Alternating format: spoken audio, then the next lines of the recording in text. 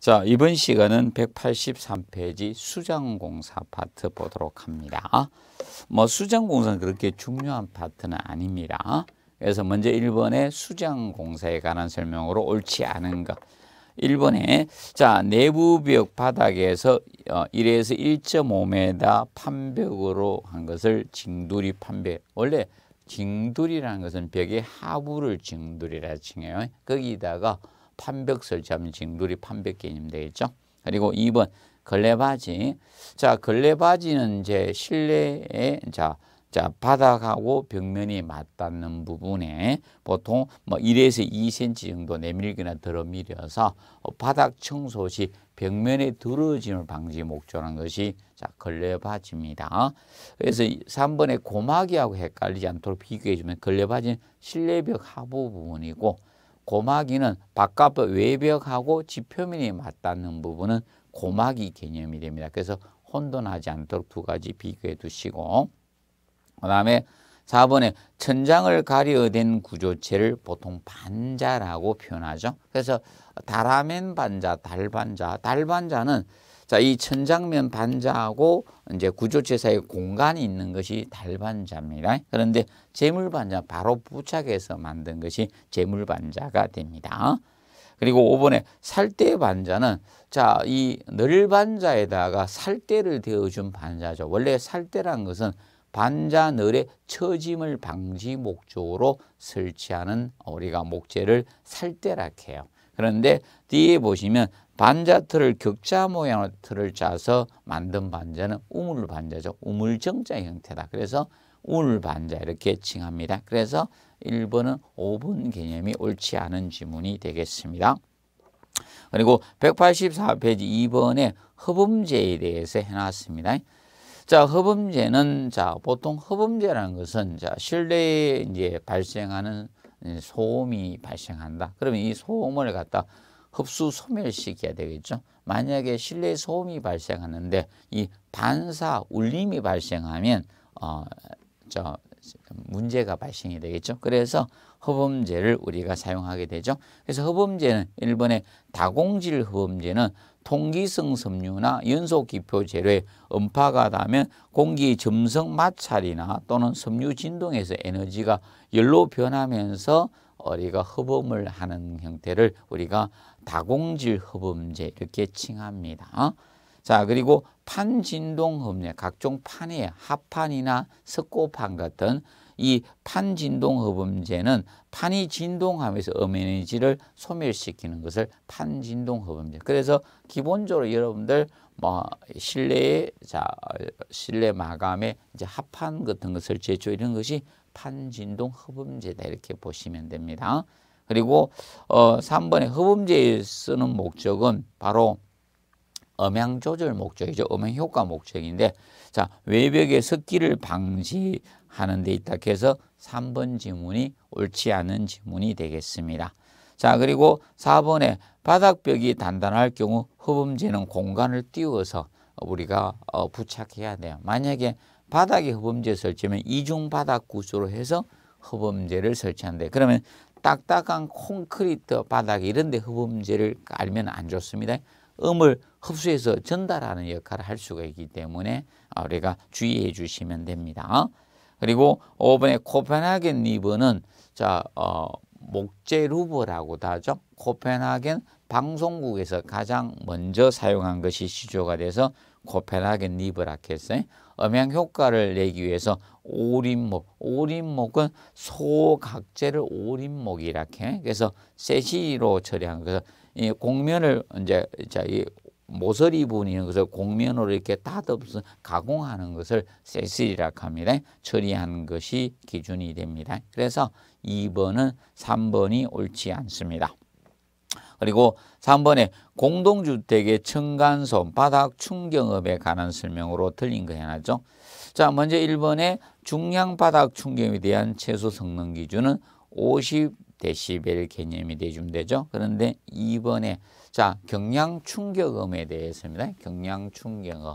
그다음에 자, 이 경량 충격음은 충격음에 대해서는 이거는 50 58데시벨이 되겠죠. 58데시벨 기준을 잡고 있습니다.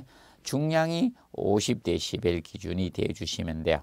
그리고 아이들이 뛰는 것 같은 충격음을 어, 우리가 중량 충격음이라 하죠. 그리고 어, 그래서 이제 보통 이 중량 충격음은 사람들이 뛰는 것들이 중량 충격음입니다. 그러면 경량 충격음은 무엇인가 하면 우리가 어, 주방에서 뭐 접시나 찻잔 같은 걸 떨어뜨리는 거 이런 것이 경량 충격음이다 보시면 됩니다.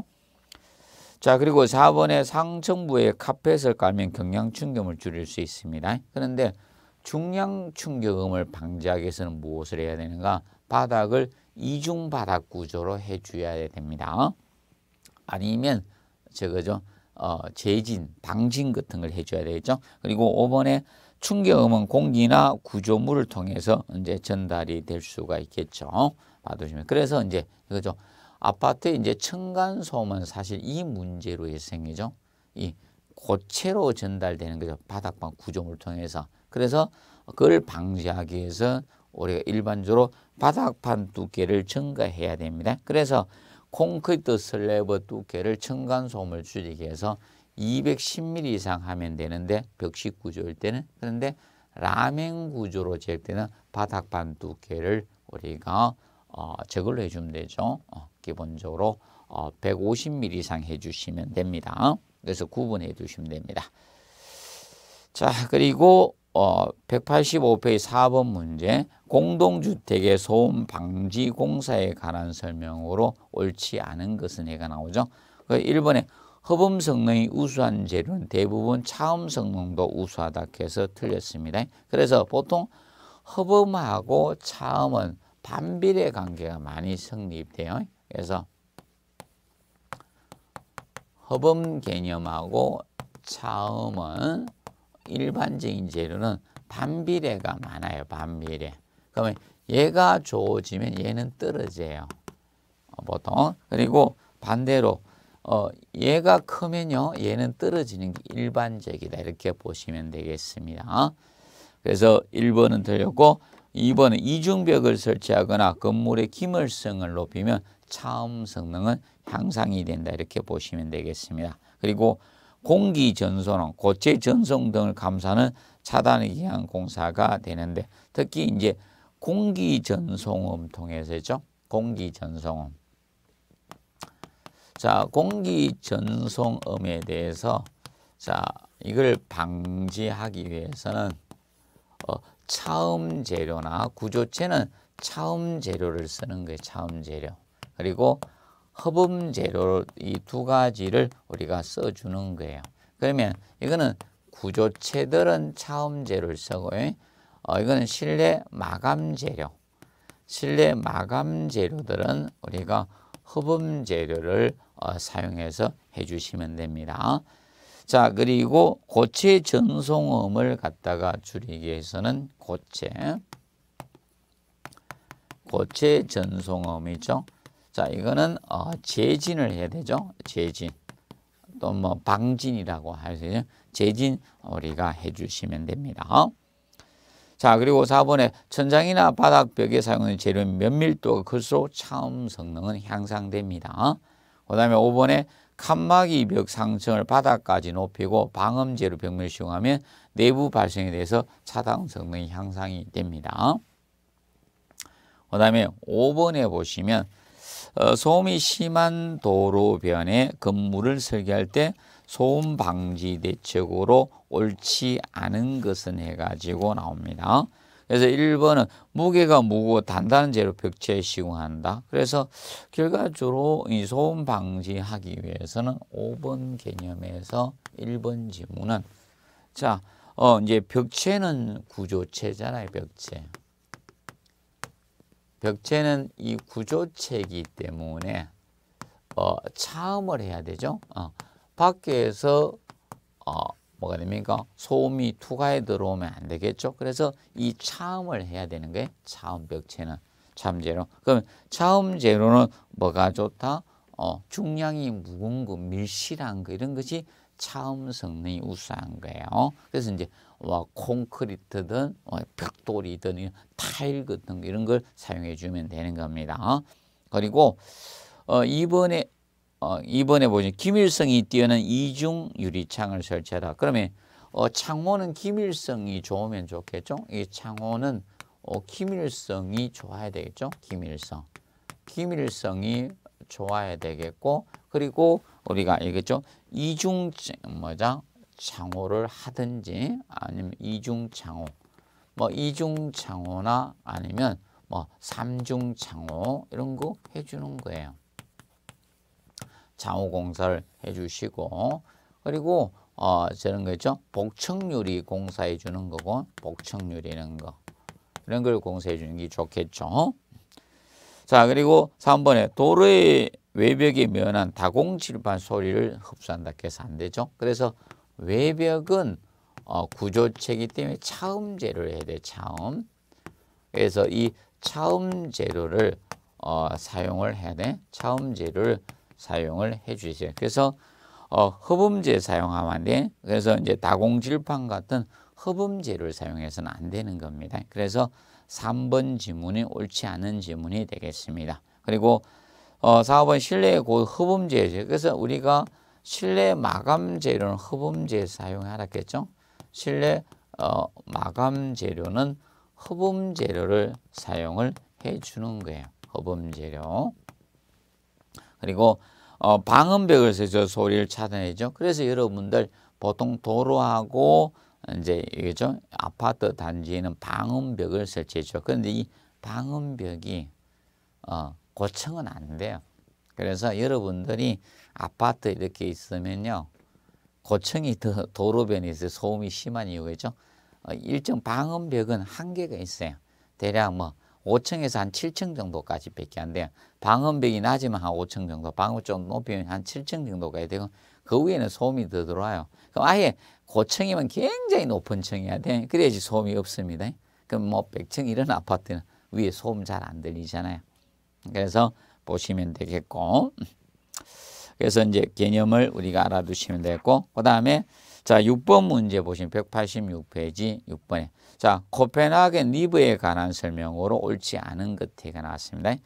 자 고음에 대한 음향 효과에 대한 리브가 바로 코펜하겐 리브입니다.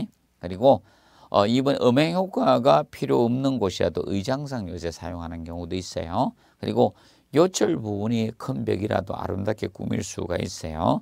그리고 어, 4번 일반적으로 수직방의 리브를 강조한 그래서 이제 벽에다 설치합니다. 그래서 이제 어, 극장이나 이런 거 있죠. 그리고 방송국 이런 데 스튜디오 이런 데다가 설치합니다. 그리고 5번에 공면 처리를 할 수 있죠. 그래서 5번이 틀려서 둥근면 시공도 할 수가 있습니다. 그래서 6번은 5번 개념이 틀린 문장이 되겠습니다.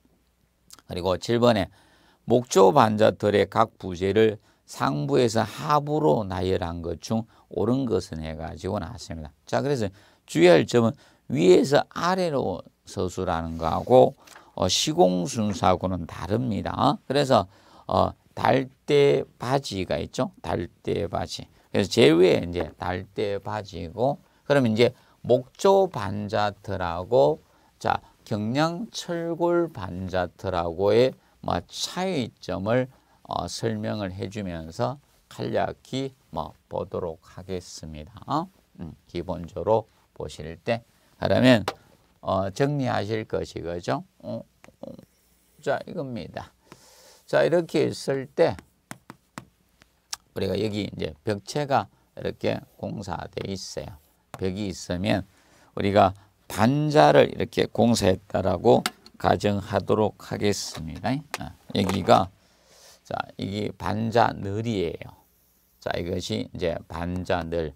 뭐 지금은 어, 어 합판 같은 건축 판반자를 쓰죠. 늘반자의 기준에 이렇게 반자늘이 있다. 그러면 자 반자늘을 우리가 어, 못 박아 되기 위해서 어 이제 틀이 필요하겠죠. 그래서 이 반자 틀을 갖다가 이렇게 한쪽 방향으로 설치해요. 그러면 이것이 격자 모양으로 설치되면 저겁니다. 어, 우물 반자고. 그래서 이것이 반자 틀을 설치하고요. 그리고 나서 이걸 어, 여 밑에는 저것이 필요하다 했습니다. 이거는 벽하고 천장에 맞닿는 분의 반자 돌림대가 필요한 거고 이거는 반자 돌림대고 그러면 이 반자 틀을 받아주기 위해서 어, 이거의 직각 방향으로 이제 목재가 가는데 이것을 반자틀 바지라고 해요. 이것을 반자틀 바지라고 해요. 반자틀 바지. 그리고 얘를 이제 달아매기 위해서 달대가 필요한 거예요. 달대가 필요하고 그리고 이제 달대를 받아주기 위해서 이 방향으로 가요. 이렇게 이 방향 이렇게 가는 목재가 필요한데 이것이 어, 철물을 고정하면 이것이 달대 바지 개념이 되는 거예요.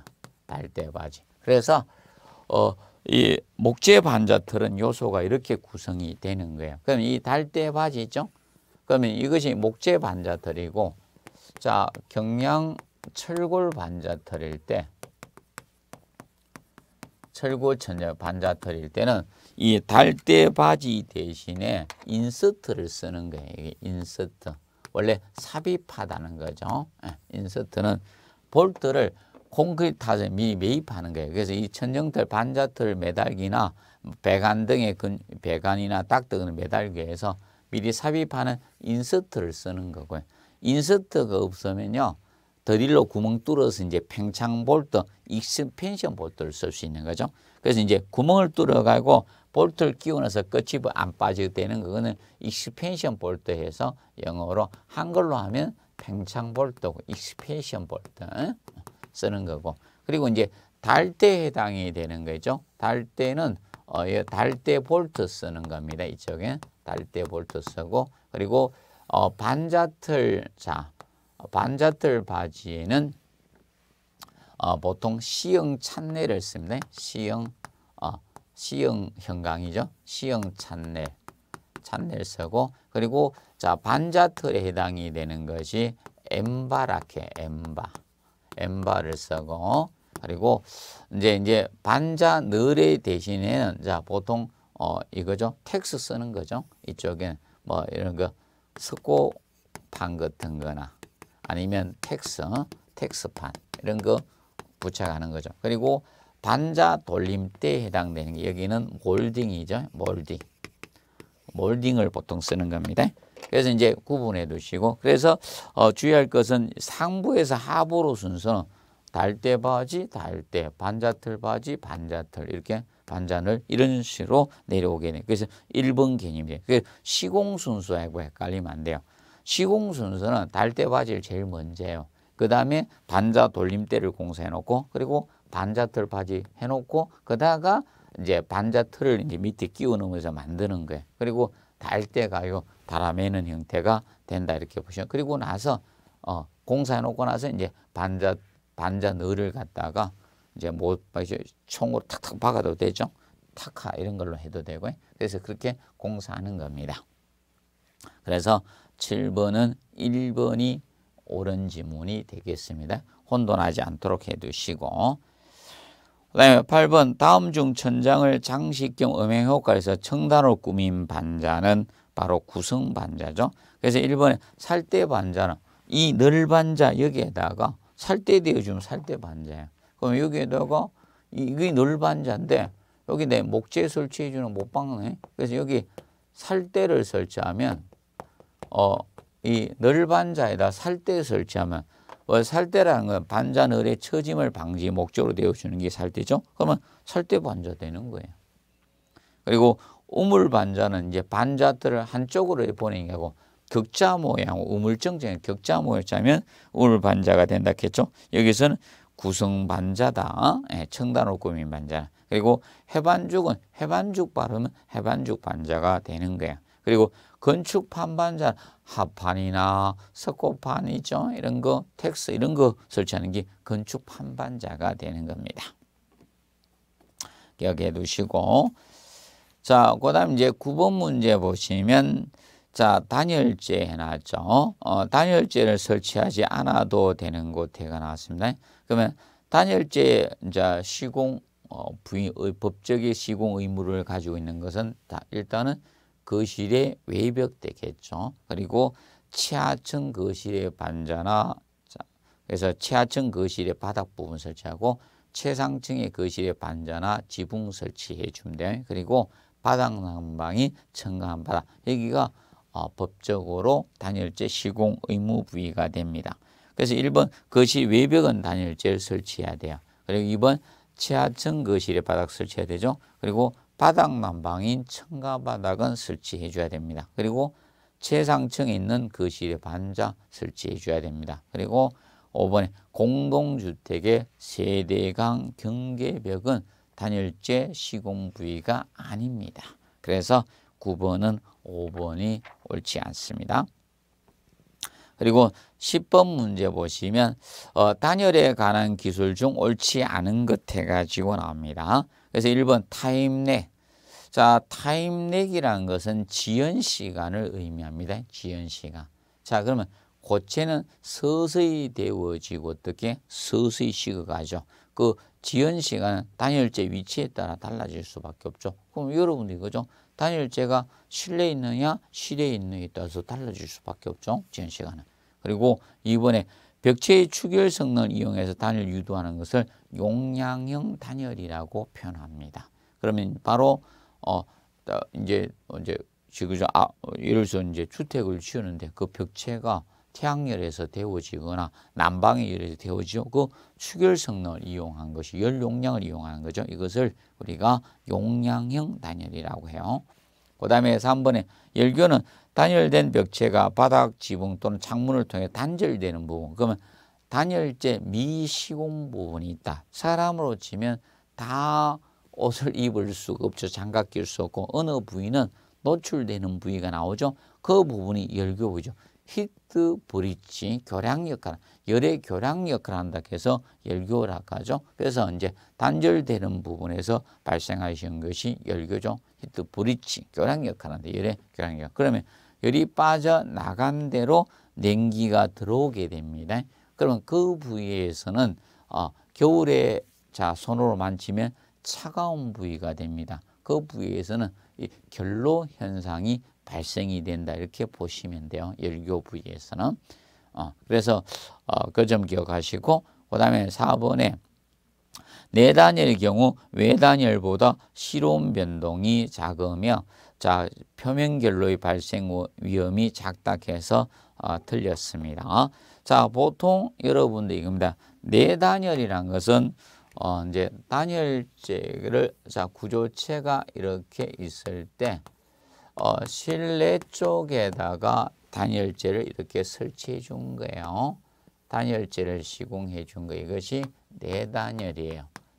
자, 내단열이 되면, 자, 이거죠. 난방을 하게 되면 데워지는 게 없죠. 이 단열재 이것을 지는 이어서 바로 어, 차단을 시키는 거예요. 그럼 내단열 하면 실내 온도가 빨리 올라가요. 근데 문제가 난방을 정지하면 온도가 빨리 떨어지는 거예요. 그래서 실온 변동이 커지는 거예요. 실온 변동이 커질 수밖에 없죠. 그 반면에 외단열의 경우는 반대 개념이잖아요. 단열재를 자 실외척에다가 단열재를 이렇게 설치해 준 거예요. 그러면 차가운 외기를 여기서 차단해 버리죠. 차가운 외기를. 그렇다 보니까 얘는 내단열 하면 이게 항상 겨울에 차가운 상태로 존재하는 반면에 얘는 난방을 하게 되면 어떻게 됩니까? 이 난방이 열에 의해서 얘가 데워져. 이게 데워지기 때문에 실온 변동이 차이가 별로 없죠. 온도 차가 별로 안 나요.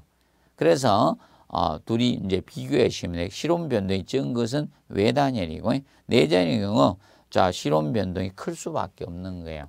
난방을 하게 되면 빨리 올라가지만 난방을 정 실온이 빨리 떨어지는 단점을 가지고 있는 게 내장입니다. 그런데 자 얘는 어떻게 됩니까? 난방을 하면 구조체가 되면 빨리 안 데워지는 거. 남 서서히 올라가는 거예요. 이거 열이 열 전달해서 이 구조체가 데워지니까. 그래서 이제 결로 방지에도 이 외단열 형태가 결로 방지에도 유리하게 되는 거다. 이렇게 보시면 되겠습니다. 그래서 4번이 틀렸고 그 다음에 경량 구조가 중량 구조보다 온도 변에 빨리 반응해요. 그렇기 때문에 추운 지방일수록 중량 구조로 벽을 두껍게 시공해 주는 게 좋아요. 경량이면 빨리 데워지고 빨리 식어요. 쉽게 여러분들 어, 양은 냄비가 경량이죠. 그리고 가마솥이 중량이다 이렇게 보면 그 가마솥 서서히 데워지 서서히 식어가지고 근데 양은 냄비 빨리 데워지고 빨리 식어요. 그래서 여러분들 이겁니다. 추운 지방일수록 어, 중량 구조가 좋은 거예요. 경량 구조로 하면 어, 춥습니다. 그걸 기억하시면 됩니다. 자 그리고 11번 다음 공동주택 어, 부위 중 열교 부위가 아닌 것. 자 그러면 열교 부위가 아닌 곳은 단열재를 시공한 부분은 열교 부위가 아닌 거예요. 그러면 단열재 미시공 부위가 열교 부위다 이렇게 보시면 됩니다. 그래서 1번에 창틀, 창틀은 단열재 설치 못하죠. 열교 부위. 세대강 경계벽 단열재 시공하죠. 열교 부위입니다. 그리고 창틀 주위에 콘크리트 인방, 인방에는 단열재 시공할 수 없죠. 보강 부재잖아요. 자 그리고 캔틸레버 콘크리트 바닥판 이런 데는 단열재 시공이 안 되죠. 그리고 단열 이중벽은 열교 부위가 아니죠. 그래서 11번은 5번이 어, 자 열교 부위가 아닙니다. 그러면 열교 부위는 결로가 발생하는 부위다 이렇게 보시면 됩니다. 그 다음에 12번 문제 보시면 자 단열재 요구 성능으로 옳지 않은 것은 해가지고 나옵니다. 먼저 1번에 열 전도율이나 흡수율, 수증기 투과율은 적어야 되죠. 그래서 12번은 1번 개념이 들어있습니다. 특히 열 전도율 이런 나오던 율. 단열재는 열 전도율을 다룰 수도 있고 뭐 열간료율 이렇게 다룰 수도 있죠. 자, 율은 적어야 돼요. 이걸 항상 기억하면 율은 적어야 되고 그러면 이거의 어, 역수가 무엇이 된다? 저항이 예를 못 봐요. 그러면 열 전도 저항이나 어, 열간류 저항 자, 이 저항은 커야 돼요. 이걸 꼭 기억하십시오. 저항은 커야 되고 율은 적어야 돼요. 그래지 단일 좋은 단일체가 되는 거고 그러면 에너지 절약상도 어떻게 해야 된다? 적어야 돼요. 그리고 주항값은 클수록 열 손실이 적어서 그러면 에너지 절감 효과를 가질 수가 있는 거예요. 그래서 여러분들은 겨울철에 이렇게 하죠. 적은 옷을 입죠. 저항이 큰 옷을. 그래서 어, 파카를 많이죠. 오리털이나 거이털 파카를 맞는 이유이고 이래야지 안 춥잖아요. 맞죠? 어, 그걸 기억을 하시면 돼요. 근데 입고 나갔는데 어떻게 됩니까? 이제 대중교통을 타면 덥고 아 짜증나죠. 어, 그리고 너무 좋아가지고 들이 그런데 밖에서는 딱 맞는데 이제 지하철이나 버스 타면 덥죠. 어, 그럴 때 이제 또 땀나고 그러죠. 그래서 그 1번 개념이 틀린 개념이 된다. 이렇게 보시면 되겠습니다. 그리고 2번 온도 습된 변형은 적어야 돼요. 그리고 내식성, 내구수, 내열성 우수해야 되죠. 그래서 비중은 작고 상온에서 가공이 용이한 것이 좋은 거죠. 그리고 경제적이고 시공이 용이해야 돼요. 그런데 이제 단열재가 문제가 외단열이 좋긴 좋은데 문제가 그죠. 불이 나면 타고 올라가요. 그러면 타고 가기 위해서 위해서 발코니를 두는 게 좋거든요. 발코니를 두지 않으면 이 단열재가 연속되다 보니까 이 외단열의 단점이 그죠. 불이 나면 타고 올라가 버리잖아요. 왜? 불에 잘 타지 않는 단열재는 단열력이 떨어져요, 사실은. 보통 불에 잘 타는 거지 단열력이 너무 우수하거든. 그래서 이제 문제가 있는 게 딜레마가 생기는 거죠. 에너지 절약을 위해서는 어, 어, 열 전도율이 적고 저항이 큰 걸 쓰다니까 불에 잘 타. 그런데 어 불에 안 타는 하면요 이게 율이 커져요. 그래서 이런 문제점이 발생하. 그래서 제일 좋은 방법은 발코니를 설치하는 거예요. 그래야지만 하재가 안 타고 올라가는 거예요. 그래서 여러분 이겁니다. 고층 아파트 질 때는요.